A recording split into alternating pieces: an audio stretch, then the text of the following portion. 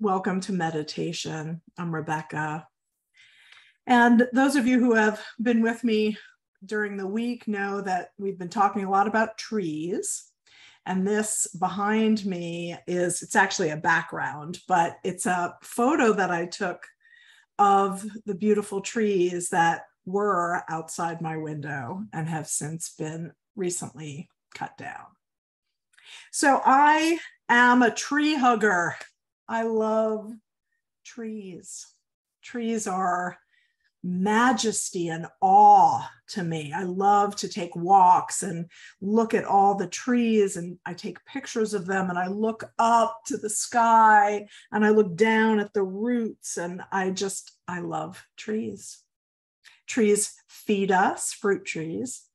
They give us oxygen. They create homes for many animals and birds. And overhead, they create a beautiful canopy and give us shade. And in yoga, we have a pose, uh, an asana called Vrikshasana, tree pose. And tree pose allows us to be really present and to work on our sense of balance. One of my uh, students, um, pardon me, who's not here today, always loved when I talked about with uh, tree pose that it gives us both this sense of grounding and stability and also this sense of lift and buoyancy. And uh, and that is just another thing that trees give to us. It's that sense of awe and majesty. And so I want to just talk a little bit about trees and then we'll do a meditation. Rabbi Jill Hammer says that all trees converse with one another and with all beings. She says if the trees are speaking, we should start listening. Poet Mary Oliver wrote, When I am among trees. When I am among the trees, especially the willows and the honey locust, equally the beech, the oaks, and the pines. They give off such hints of gladness, I, almost, I would almost say that they save me, and daily. I am so distant from the hope of myself in which I have goodness and discernment, and never hurry through the world, but walk slowly and bow often. Around me, the trees stir in their leaves and call out, Stay a while. The light flows from their branches. And they call again. It's simple, they say. And you too have come into the world to do this, to go easy, to be filled with light and to shine. Take a moment to find your meditative seat, whatever that looks like for you, sitting up tall in a chair, well supported, sitting on the floor on a cushion, lying on your back.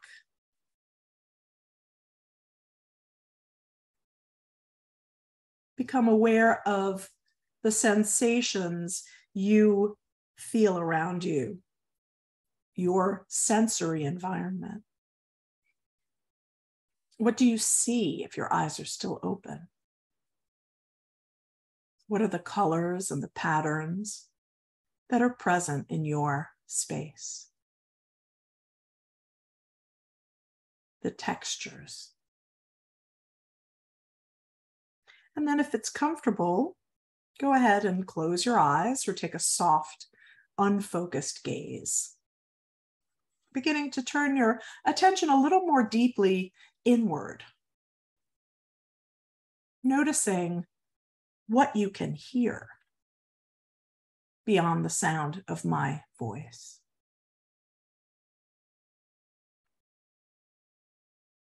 Can you discern which sounds are close by and which are further away?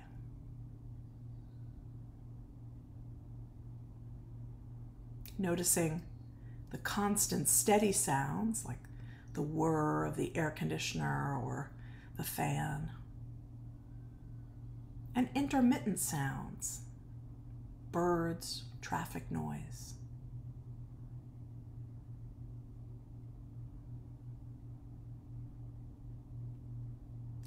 Notice what you feel under your fingertips. Is it cold or warm? Smooth or bumpy? What do you feel beneath your feet, your seat?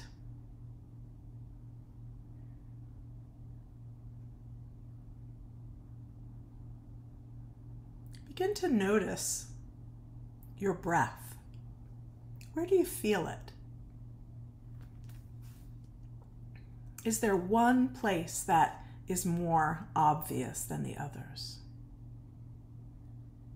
Take a moment to fix your attention on that spot. Maybe it's at the tip of your nose or your upper lip, maybe in your chest or belly. And keep your attention there through several rounds of inhales and exhales.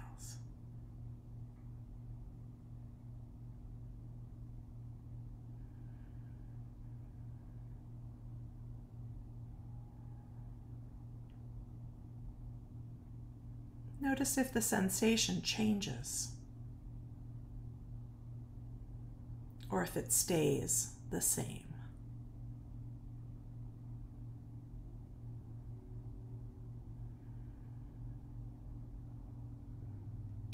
And then begin to follow your breath, noticing where it goes on your inhale. Pause for just a moment at the fullness of the inhale.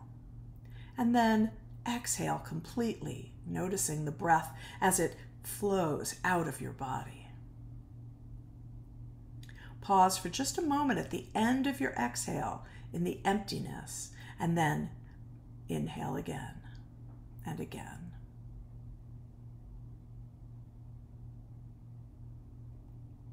Allowing the breath to be smooth and steady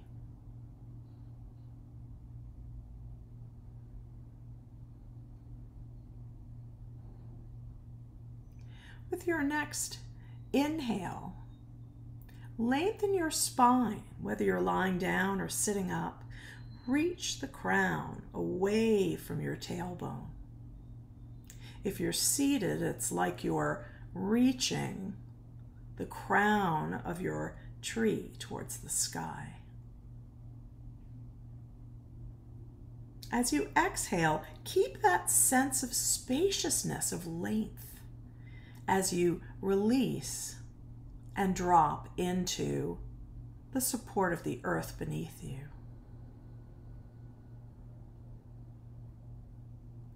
Lengthening with each inhale, grounding with each exhale.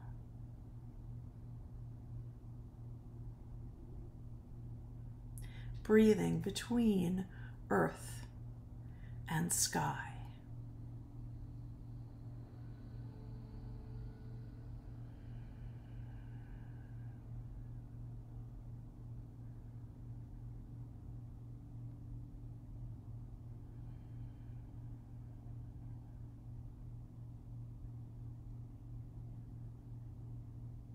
Can you get that sense of groundedness and also buoyancy. Allowing gravity to hug you and hold you to the earth, keeping you from spinning off. And then the bravery, the courage to press away from the earth against gravity and lengthen, growing tall.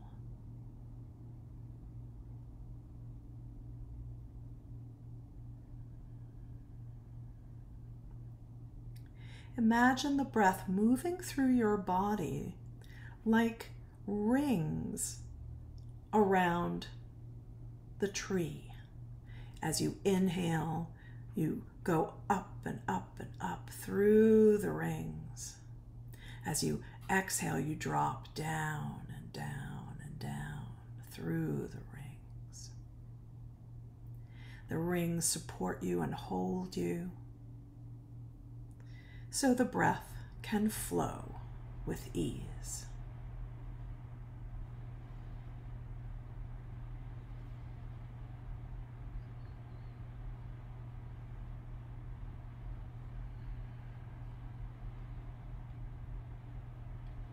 On your next exhale, imagine you're sending roots deep into the earth from every place that's connected to the earth. Maybe just your feet or your bottom, or maybe your whole spine, your arms and head.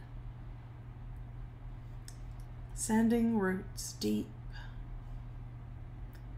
and deeper and deeper still.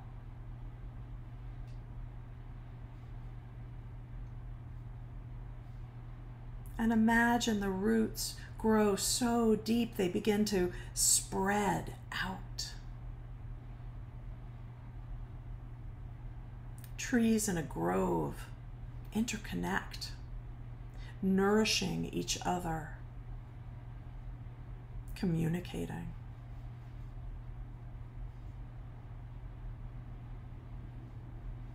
Can you feel the connection with your community, your loved ones, your fellow students.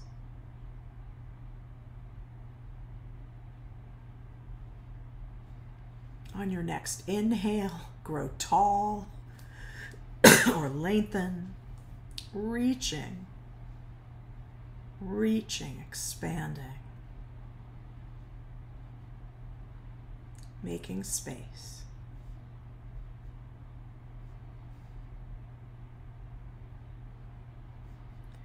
Roots drop deep,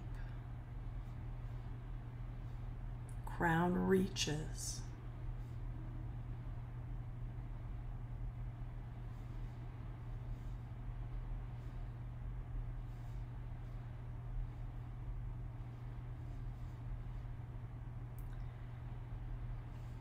And now begin to let go. Sinking a little more with each exhale.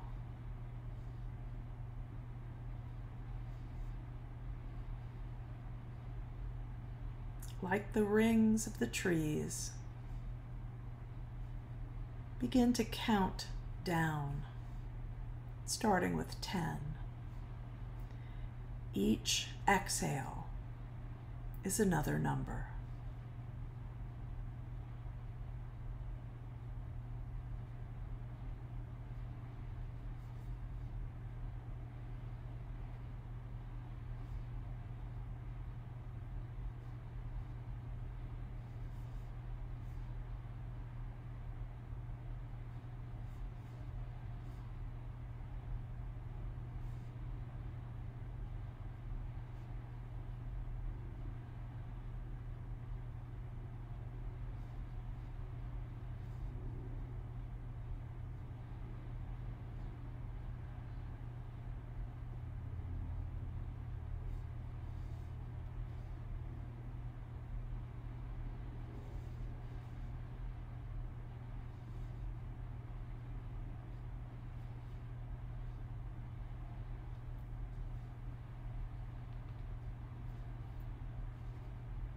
We'll come into some quiet.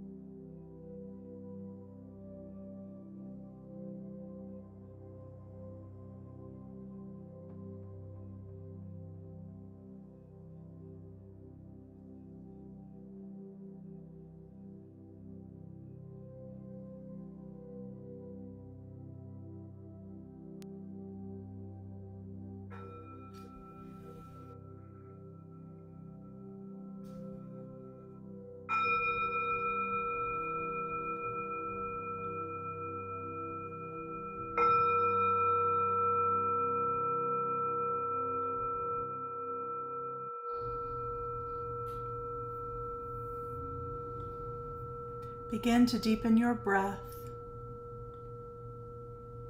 bringing small movements into fingers and toes.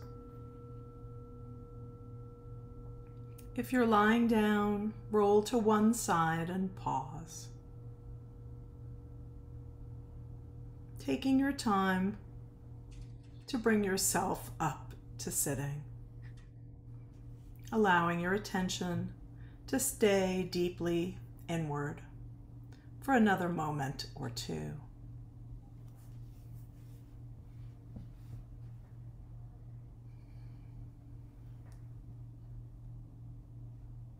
We'll seal, excuse me, we'll seal our practice with one chant of Om for the community we create when we practice together, bringing palms together at heart center.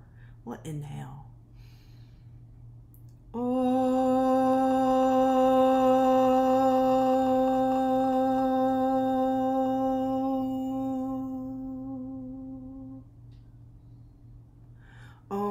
Shanti, peace, peace, peace.